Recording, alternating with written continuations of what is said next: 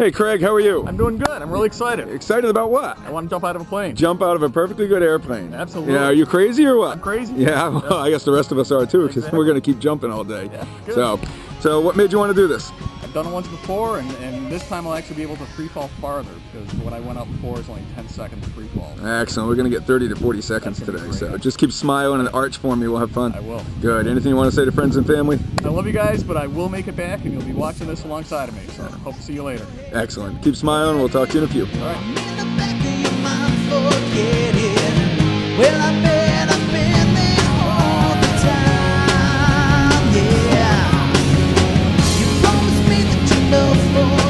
In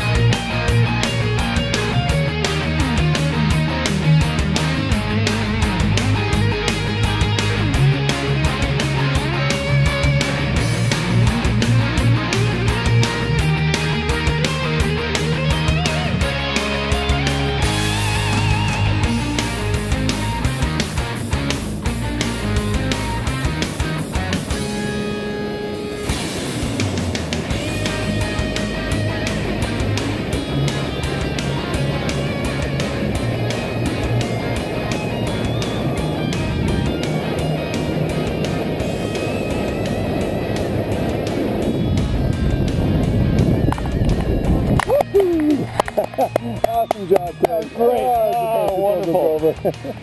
Good job. Congratulations Thank again. After 22 years, man. what did you think? Better the second time. Yeah, it always Yeah, is. a lot more fun the second time around. Congratulations again. Thanks for jumping with us.